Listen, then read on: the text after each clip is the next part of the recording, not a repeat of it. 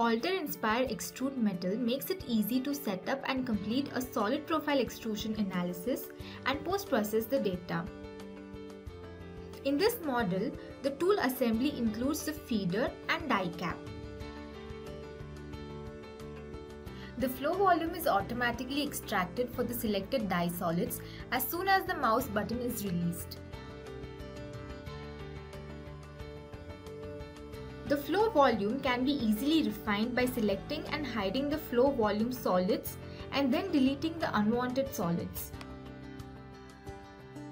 The bearing tool on selecting the start surface will automatically discard the relief region to create bearing and profile solids. To better visualize the results, you can cut the flow volume length based on the component lengths and put them into their respective components automatically.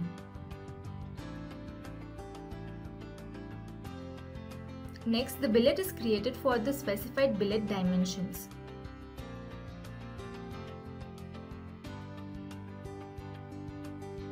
The material is selected from the database and added to the selected material pane.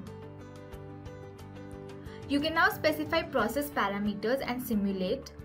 You can also monitor the status of the simulation.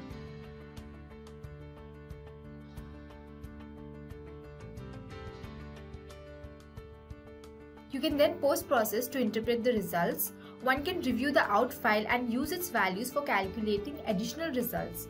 Or use the Analysis Explorer to view the results within Inspire Extrude.